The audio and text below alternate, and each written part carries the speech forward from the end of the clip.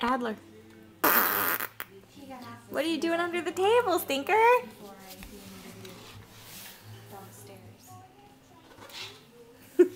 you can only go backwards, huh?